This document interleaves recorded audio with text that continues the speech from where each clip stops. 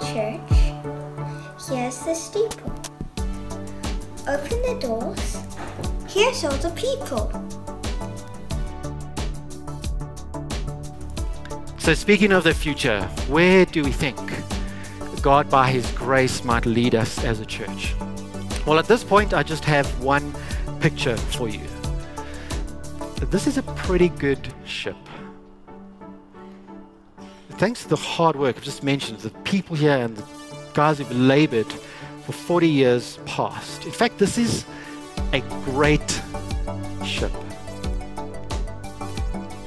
What I think we need to do is to lift the sail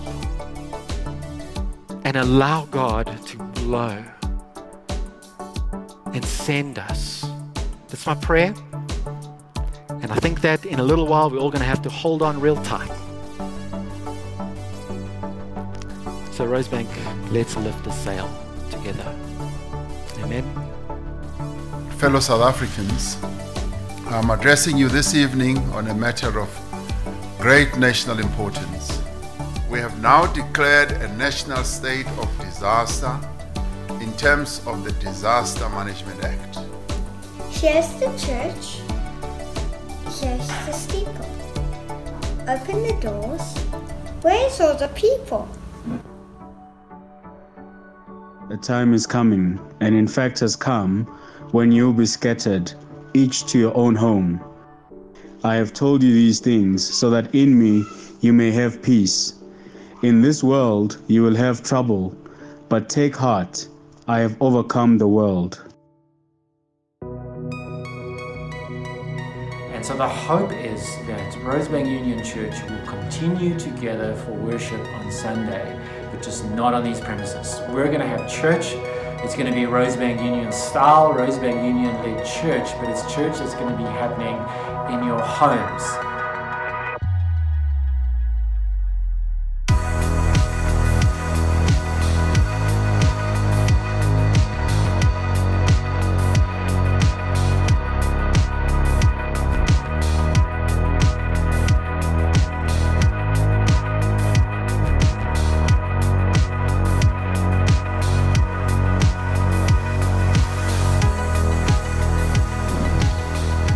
How's the church? It's so good to be with you, even though from a little bit of a distance.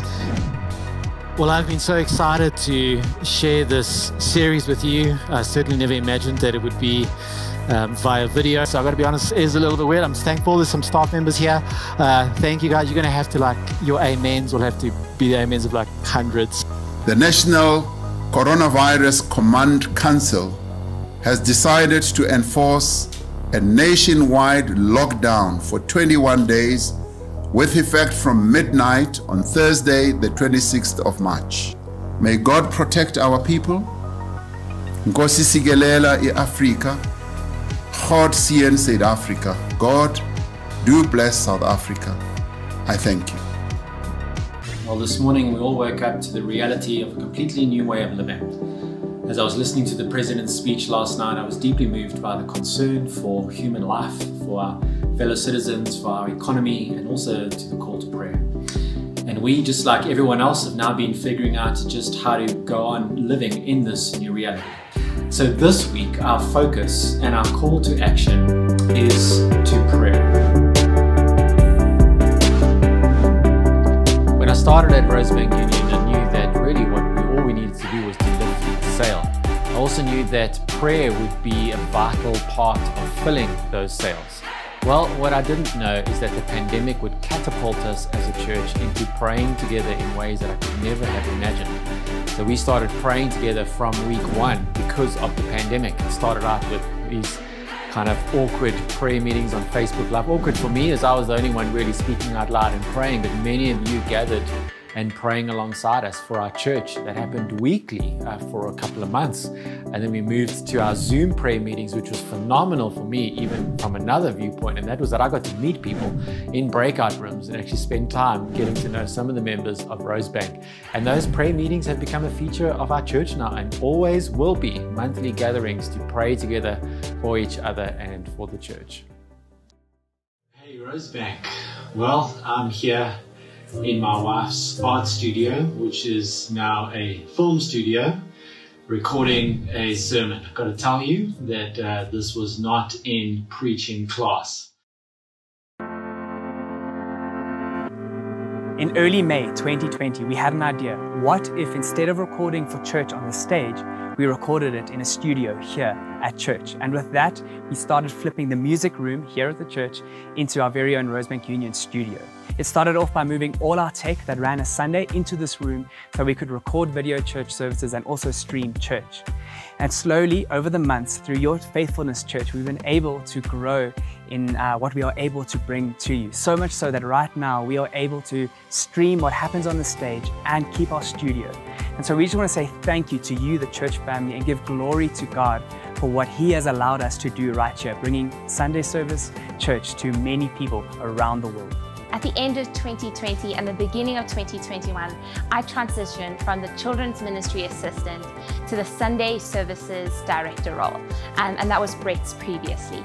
And so a great celebration or a team win for us is um, being able to split the studio so that we can have live preaching and live worship at the same time in the studio. Another great team win was having our shepherding elders as online hosts um, on our Go Live platform.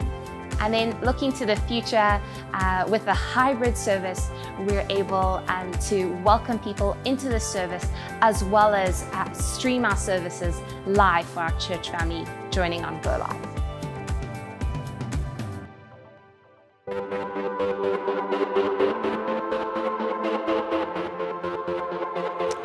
Hey, good morning, church. Man, I'm so excited to be here.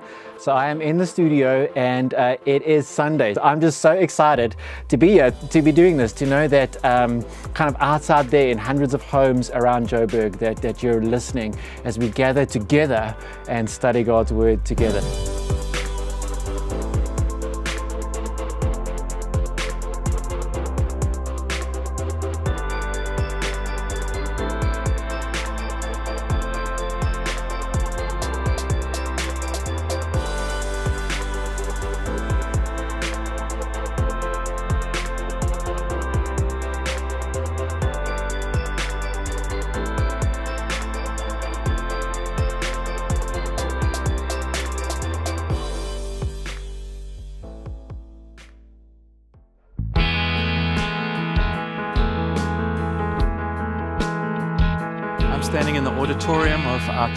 Church, has stood empty for most of this year due to just this hectic season of COVID. But I want to thank you for joining us online, and I want to thank particularly Brett France and Michael Phillip and Jonathan Crosley, who are part of the worship ministry and part of the online ministry and getting the studio up and running um, so that you could join us in worship each week been a great blessing. We've managed to record 42 songs as a worship ministry, and we've been through many different transitions. We've had to figure out copyright and licensing and streaming licenses, but God has been good to us. And you've watched the worship evolve over the, the past year. And so I'm just so grateful to God for using us. I'm so grateful to God for the team and enabling this to happen. And as the outgoing worship pastor, I'm just so grateful for all that God has done in this year, despite all that we've been through. Um, I'm really just so grateful for particularly Easter and the carol service. Easter was viewed by 2,500 people. The carol service was this little window that the president gave us together, two services of 250, and it was just a breath of fresh air as we worshiped Christ. May He continue to be glorified in our midst. After six years in the youth ministry, I was really excited to receive the news that I'd be taking over from Justin Tamlin as worship pastor at Rosebank Union Church. I'm really looking forward to this new role, and I'm looking forward to be able to shape the worship culture here at Rosebank Union.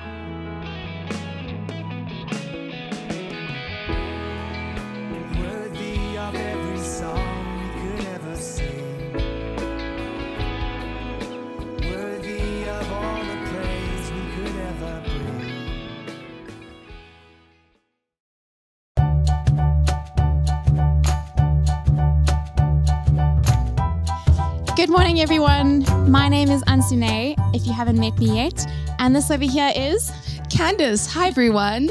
and we're coming to you live from Rosebank Union Church. As challenging as moving to online ministry was, it also opened up the opportunity for new ways to be creative and to tell stories of the Bible in a way that already engaged kids. One thing I can think about is tracking with the sermon series through the book of Ezra. And at first I thought, how on earth will we do this? But with fun animations and voiceovers, we really could let the story of Ezra come alive. Another thing was the opportunity to include kids and volunteers from their homes in our online videos and they could just simply record themselves and send that through to us and be a part of our service. We really struggled to create videos that could target kids from the age of 2 till 13, such a wide age range. But thankfully, Isabella Snyman started creating Bible story videos with Rosie and kindly let us use her videos as a part of our service. Isabella and Rosie, we are so thankful for your service during lockdown. One of the many things that were highlighted by the lockdown uh, for families and for me as a dad was how do I disciple my children? And so to solve that problem, um, myself and the kids ministry uh, partnered uh, to form what we call Raising Parents podcast, which is a podcast that deals with family discipleship. This podcast seeks to um, to align ourselves as we seek to disciple our kids in our homes, and we discuss uh, so many different topics just centered around family discipleship as we take what the Lord has said to us seriously.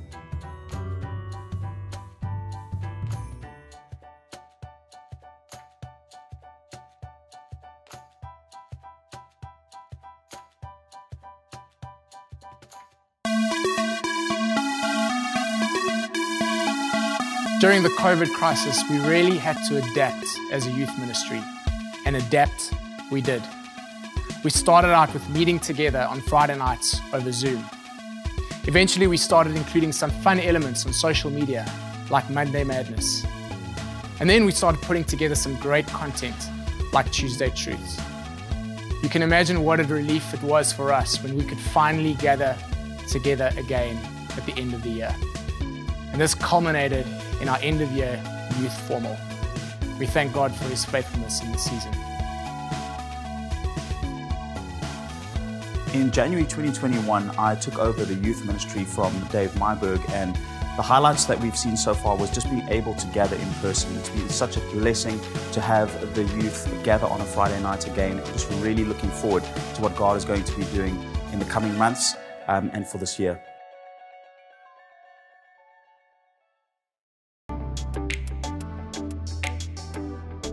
Last year saw us start what we call the lead table, which is leadership, equipping, and discipleship around the table.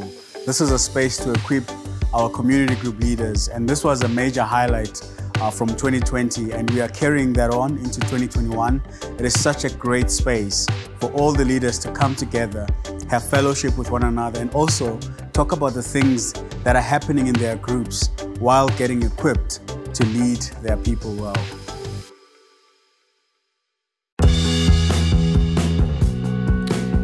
June last year, we thought that it would be helpful to start a, a, webinar where we would address particular challenges related to the pandemic in people's lives uh, and how to live faithfully as a Christian amidst those challenges, in, uh, perhaps in ways that couldn't be addressed from the pulpit. So we started the first Monday's uh, webinar, particularly to help in the pandemic, and uh, so had a range of speakers helping us navigate topics like anxiety, navigating leadership amidst change. And well, just once again, it's something that I think we have seen bear much fruit and have loved doing and will continue to do as we have just speakers come address us on issues of how to live faithfully as a Christian uh, in the particular challenging times that we live in and looking forward to many more of these first Mondays webinars.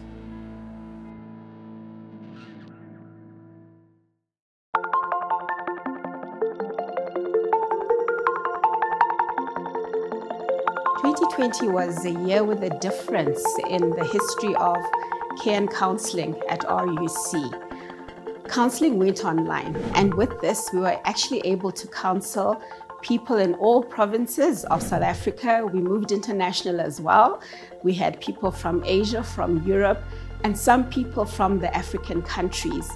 And really interesting to note that some of the people we counseled were actually ex members of RUC. We also set ourselves to do a task of calling about 1,700 adults on the database. So the care team and a team of volunteers called these people just to let them know that we're here and if anything, if they need anything, they can just give us a call and just to check up on them as well. And we also ran our usual support groups, and these were actually run online using Zoom. We ran premarital, grief share, and Alzheimer's, and we did have a very good attendance to those. And last but not least, James, one of our care team members, was available throughout the year for Park Care and Rosehaven residents and staff in order to debrief them or just to go and be with them, you know, if they needed pastoral care. So, all in all, I can say that 2020 was a challenging but very interesting year for us. And we saw the hand of God at work in our team members and in the lives of the people that we walked with.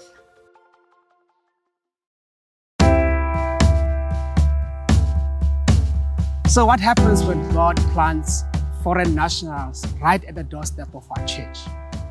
Well, the choices can be we can lay a complaint about them, or we can be indifferent or look the other way, or we can seek to do what Christ would do that is, to offer love and compassion. As a church community, we have an opportunity to minister to who we call our neighbors here. What sort of things have we done this past year? Well, we have offered church services and Bible studies. We have shared the gospel of our Lord Jesus Christ, which has the power to transform lives. We have clothed them during winter, providing blankets.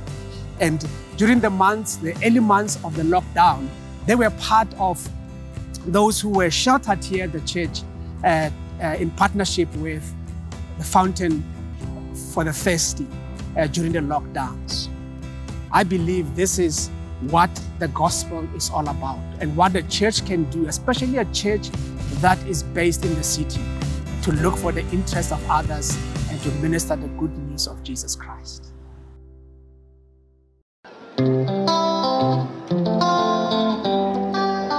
What an incredible year uh, 2020 has been for our, for our community in Alex.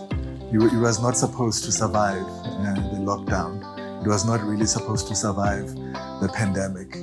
The spaces between people would not allow social distancing. The density of the population would not allow that.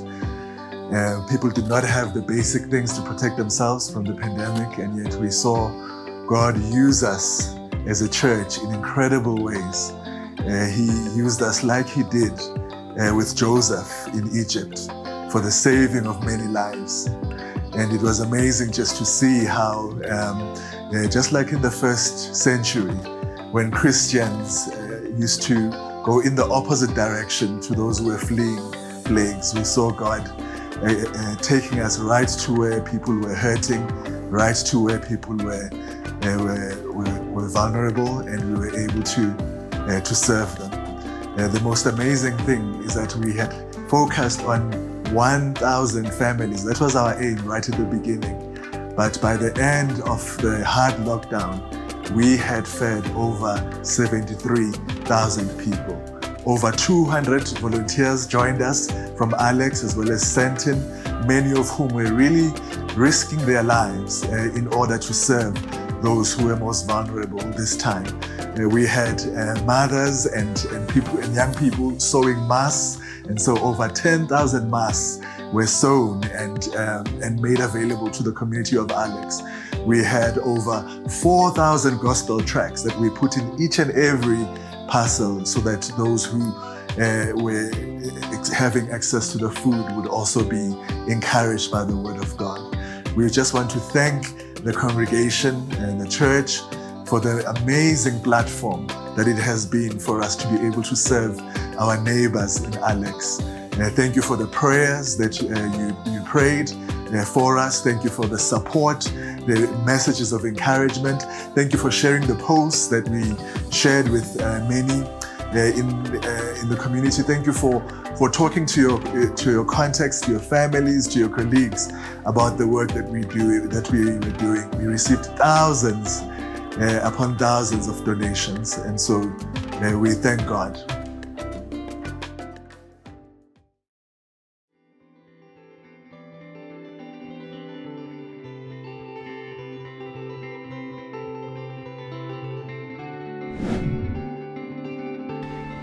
Gospel is never locked down. In the year 2020, when many people were on lockdown, we managed to reach out to Muslims and we made about 10 outreaches the whole year and won many Muslims to the Lord Jesus Christ.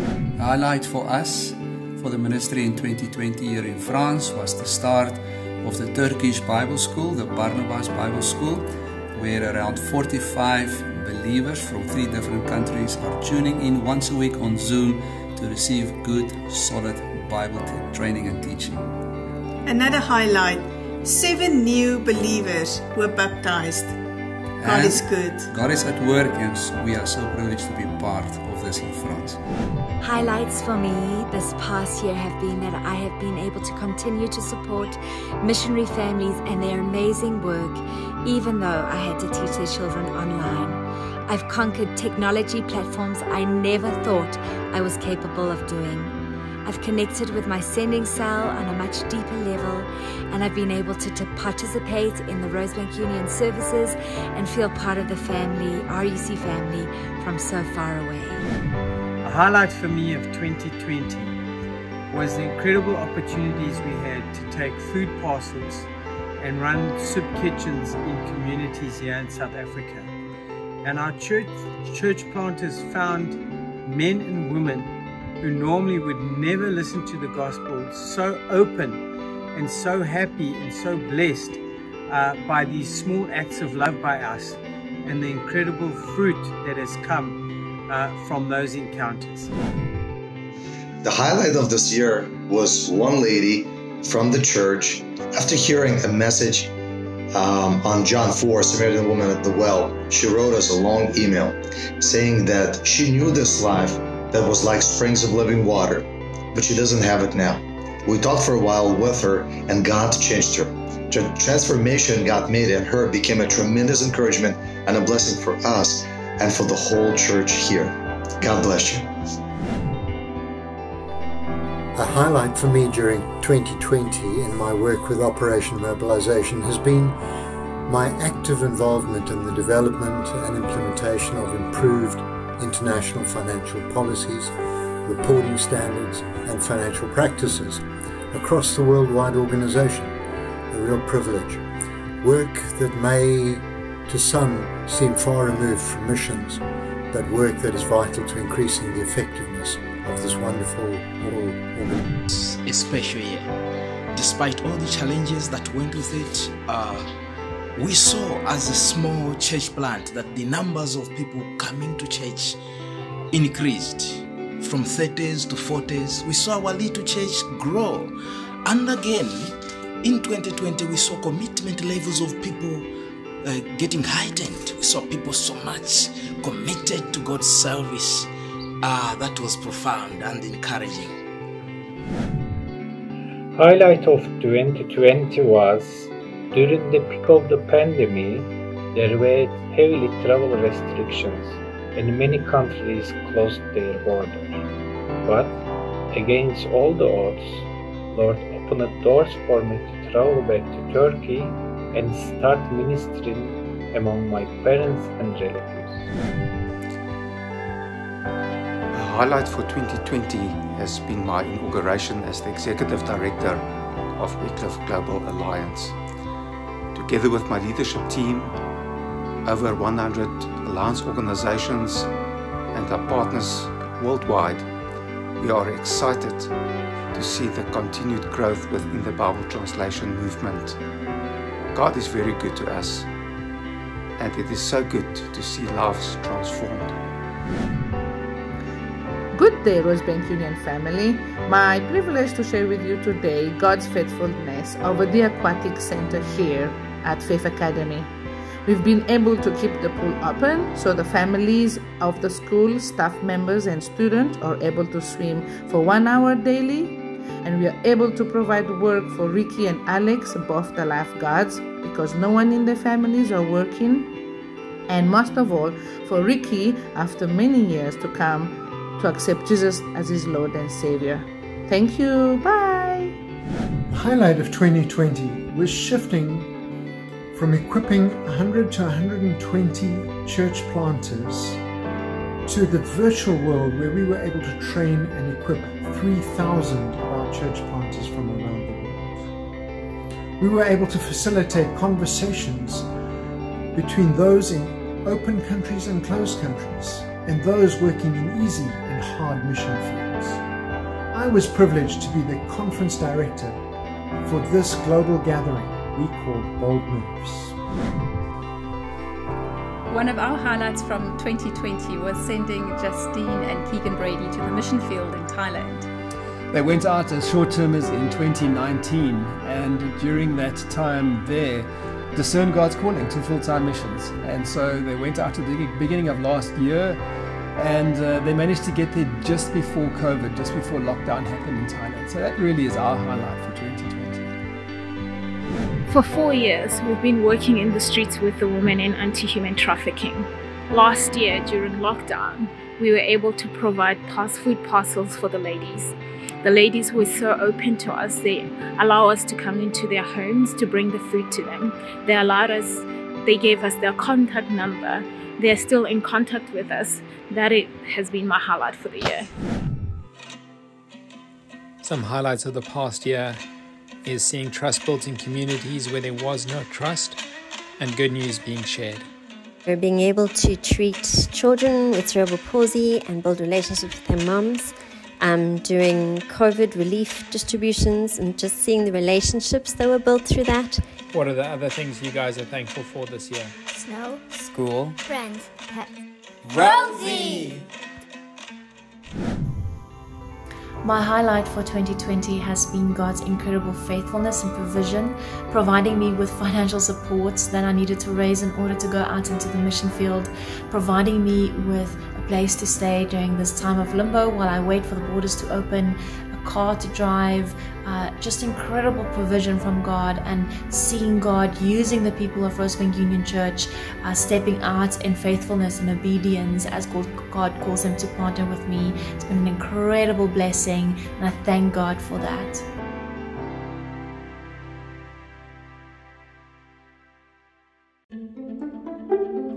There were two major milestones in our development as a church last year, uh, which oriented around the two major general meetings that we had. Uh, the first one in September, which was supposed to be our March annual general meeting, postponed, where we got to uh, implement a brand new staff structure, so a comprehensive restructure of our staff, uh, which was so exciting to do, releasing people in the area of their giftedness to serve in our church. And then in November, we had our a general meeting uh, electing new leaders, but more than just electing new leaders, we voted as a church to drastically change our church rules and our constitution, all around a structure review process that had been happening for about a year. And so that was a major milestone in Rosebank Union's history, changing our structure again to help mobilize Rosebank to be more effective in its mission in Joburg.